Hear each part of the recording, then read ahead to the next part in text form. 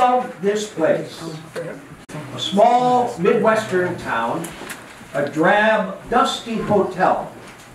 Warren and Hildy are behind the front desk, examining the ledger book. I don't know how much longer we can hold out, love. A month or two at most. I was hoping we could make it to the summer season. what summer season? There wasn't any last year, and gasoline is going up again.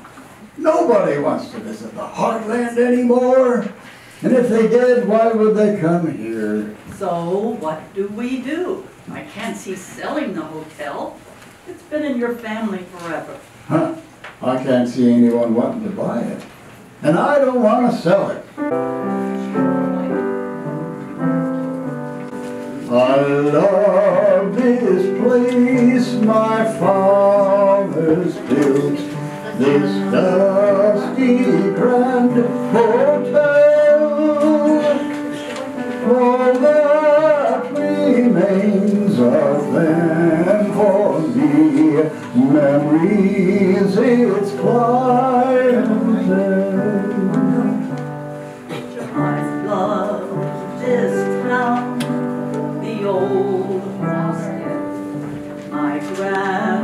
grandpa settled here. His land's long gone, still the house. I've never lived elsewhere. was here we and our young. They left,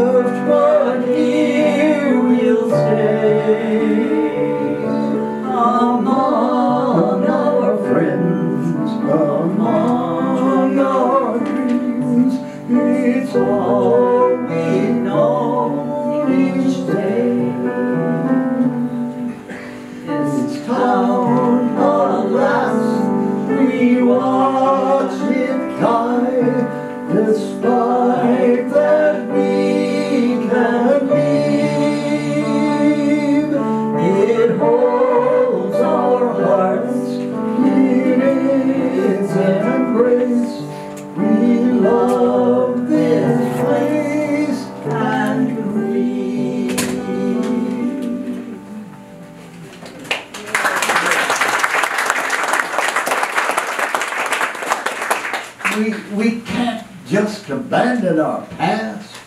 Come on, we need to be creative. I don't know, it isn't just the town. The whole county is dying.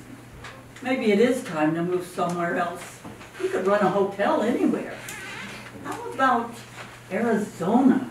We've always wanted to see the desert. We could just pick up and go. Oh, it wouldn't feel right just walking away from here. We owe the, the staff, the butcher, the grocer. We can't just stiff them. No, of course we can't. What about this? We move into rooms here in the hotel, if we can sell the house. Give us some breathing room to figure out a plan. How to pay off our debts and then move on. You'd sell your family home? Well, if, if you'd make the sacrifice, I can't say no. Much as I love this hotel, if we stay here, we'll be struggling till we die. It'll be hard, but, Oh, oh, Jason enters to the front counter pulling a small overnight bag. Uh, uh, yes, how may I help? Uh, yeah, um, I need a room for the night. I'm sick and tired of driving. Don't you folks have any decent motels around here? Oh, nothing as nice as a palace. And fortunately for you, some of our best rooms are available. What you looking for exactly? A hot shower, a good steak dinner, and a king-size bed. Huh. Well, it sounds like you'd be wanting the presidential suite. Presidential? Abraham Lincoln, maybe? Actually, Warren G. Harding. I was named after him. Warren Zimmerman. And you are? Uh, LaFleur Enterprises, New York and Chicago. Jason LaFleur. How much did you say that room was? Oh, the presidential suite is 150 a night. You're kidding. In this hick town? That's ridiculous. I'd rather keep driving. Oh, please, I'm sure we could work something out. I'll give you a hundred dollars for the night and not a cent more, cash on the barrelhead. Jason pulls out a hundred dollar bill out of his wallet and lays it on the counter, and Warren puts it in his pocket. Or you're getting a real steal. Uh, here's your key, room 306, just down the hall and up the stairs to the top floor. I'm sure you'll enjoy the amenities. Okay, where's the elevator? Oh, sorry, no elevator. What? Oh, I'll be glad to carry your bag up. I should think so. Well, are you coming? A- And make that a good piece of uh, meat for dinner, a prime ribeye. Oh, yes, sir. Warren follows Jason down the hall, fades to dark briefly, then lights up in front where Hildy is examining the ledger. Warren returns from the hall. Well, I, who'd have thought I'd be glad to see some jerk from New York? Look at this, our own personal portrait of Benjamin Franklin. Oh, wonderful. Who do we pay first? Well, Mr. Big Shot wants a ribeye for dinner. I'll go see Carl, give him what we owe, uh, well, some of it, and buy that steak. In fact, I'll get a couple, just in case. Sounds good. Say hi to Carl and Manda for me. Will do. Warren leaves out front as Hildy exits. Warren wanders down the main street to butcher shop and then enters. The chime rings and Carl enters from the back of the shop. Hi, Warren. How's it going for you and Henley? Been, it's been slow here. Sure wish business had picked up. Oh, me too, Carl. It's been rough on all of us. Carl, I'd like a couple of nice ribeye steaks. Uh, wouldn't we all? I tell everyone, I just can't handle any more credit. So, sorry, buddy. I think until you pay your bill down some, no can do. Well, how's this for a start? Ooh wee. Jeez, I haven't seen one of these for a long time. Won't ask where you got it.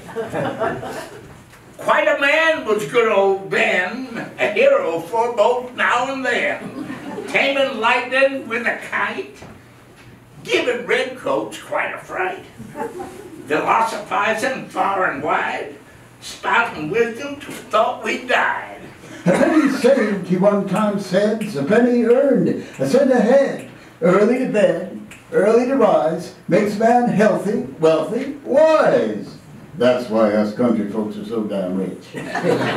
So celebrate this best of men. Honor his image now and then, His presence brings us true relief. from troubling debt and looming grief. Hooray for Ben, may his numbers grow, into our pockets may they flow. that we may repay those we owe, for we shall reap as we do sow. Yeah. Okay, that'll wrap before. well, back to business. I don't have any ribeyes cut right now, at least not good enough for you. I'll have them over to the hotel in plenty of time for dinner. Does that work? Oh, sounds good. And, and Hildy said to best. Tell Mandy we said hi. For sure. And thank you. My pleasure. That was fun. Warren exits and returns to the hotel. Hey, Chuck, I'm going out to get a side of beef from Arlo, back at 15.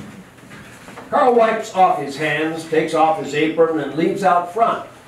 Going down Main Street to the edge of town and Arlo's front door where he knocks.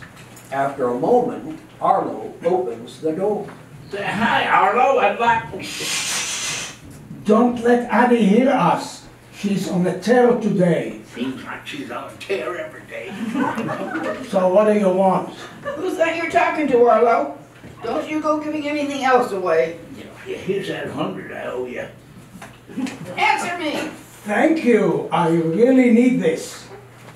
It's just Carl Closter, my dear we have almost done.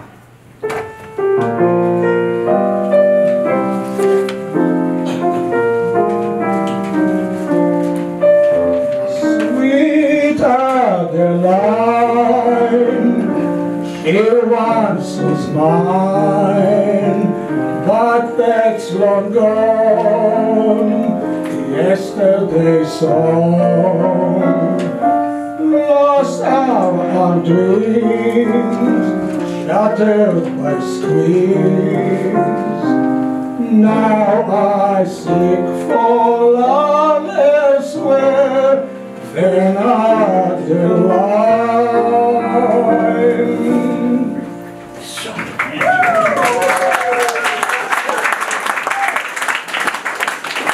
Man, so this is why you're always sniffing around. What are you up to down there? Is Carl finally paying us what he owes us? You better go. Okay, but I need a side of beef this afternoon. in an No, hour or so. I cannot. Arlo, Maybe I better speak to Addie. Okay, okay, I have a side there in just a bit. Now scoot. Carl starts back to his shop. I'm going out for a few minutes. Have a beer with Carl, dear. You are not. Huh? We're running out of cash. No one's paying what they owe. And you want to go drink up what little we have left with that no good Carl Klosterman? Don't you dare. Oh, just one beer, I promise. Bye. Carlo closes the door. On Eddie's yelling starts down the path into town.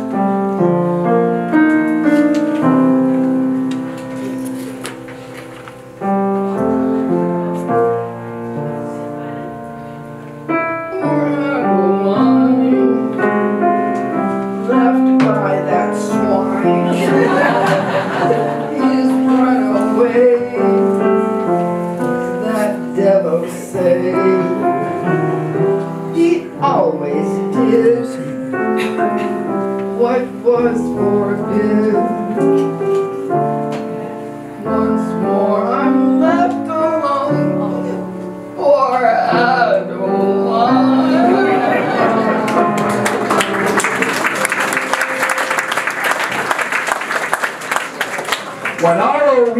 Maggie's cottage, he knocks on the door, waits a moment, he knocks again.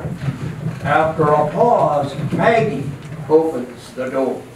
Well, look who just turned up. I told you nothing more on credit, big boy. If you want to play, you gotta pay.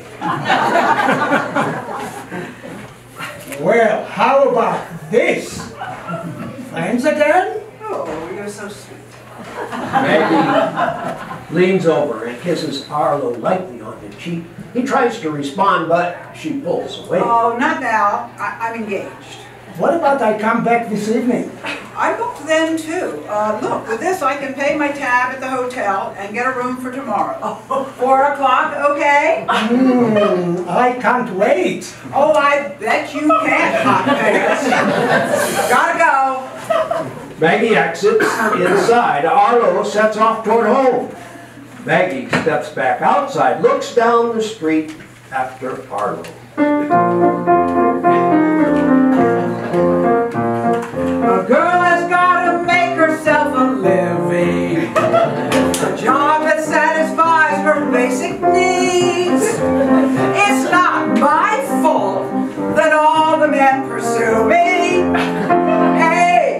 When their wives shun them, we all know where that leads. I've never sought to break up any household. My attitude is strictly live, let live. So I enjoy what life has thrust upon me. This vocation fulfills my urge to give.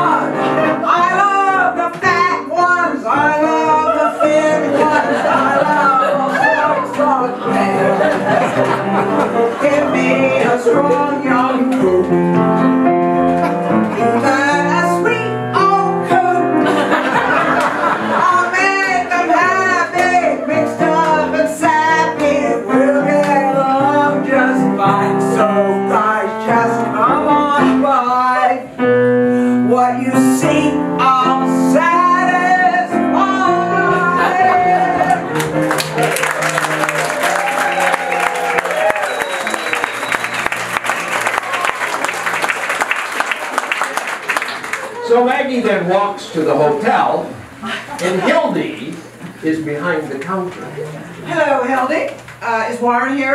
What do you want with my husband? Oh, well, aren't we touchy? Actually, will do. I just wanted to pay off my bill and to rent a room for tomorrow afternoon. Oh, if I, damn if I didn't need money so bad. We women all need money, dearie. We just get it in different ways. Or maybe it's the same way. How dare you?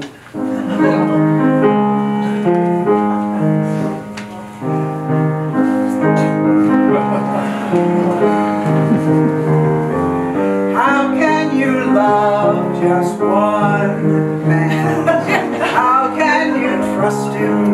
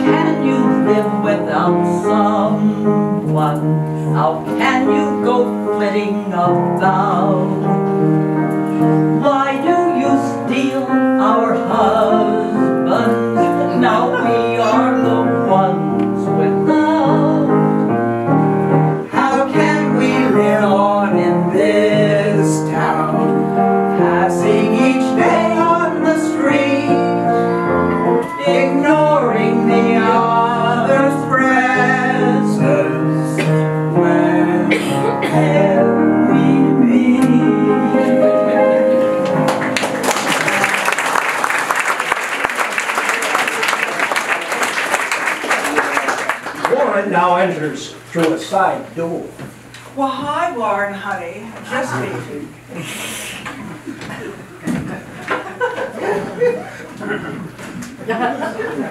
Honey, what have you two been up to? Oh, nothing, you know that. What are you so upset about? That woman, Warren, Maggie just paid off her bill. Hildy shows Warren the one hundred dollar bill and leaves. And I had to take it. I even had to rent her a room for tomorrow for the money. I hate it, I hate it. When we move in here, I don't want that floozy in my hotel ever. Oh, now, Hildy, love, just slow down. Maggie's not a bad person. She's just trying to get by, like us. But not like us. Oh, you're right, dear, sorry. Warren picks up the bill from the counter, looks at it, puts it back.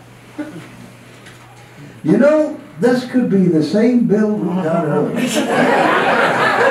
Changing the subject. You didn't give that to her, did you? No, I, I, I don't fool around on you, honey. Never have. I told you, I paid Carl for the ribeye for Mr. Big Man from New York's dinner. So maybe Carl. No, I can't see him doing that to Amanda. No, he, he probably needed it to, used it to pay somebody like we did. And somewhere down the line it got to Maggie. None of our business. Well, we'll find out soon enough. Whoever shows up in that tomorrow afternoon. Jason comes down the hall from the back rolling his bag. That room, A problem, Mr. LaFleur? Uh, can I help you with something? that room is not at all what you told me. I can't imagine even a bad president staying there. I'll find something else. Jason sees the bill on the counter, picks it up, stuffs it in his pocket, and continues to the front door. Stop, you can't take our money. Sorry, lady, I'm not using the room, so I don't pay for it. Uh, you might want to clean up the bathroom. I had to take a shower. Most unsatisfactory. Jason continues out the door and down the street with Warren and Hildy following.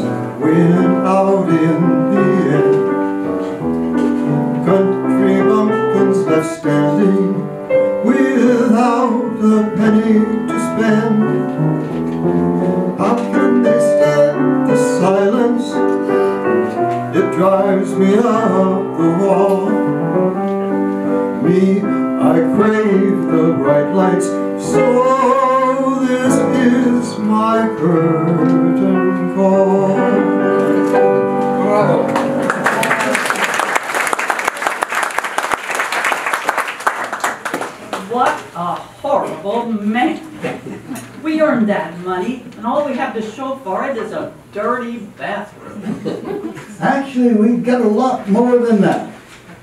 In exchange for cleaning a bathroom, we pay off a hundred dollars of what we owe. Our neighbors erase hundreds more dollars in debt, and nobody's worse off. And you and I are gonna have prime ribeye for dinner. How can you beat that? Calls for a drink for all of us.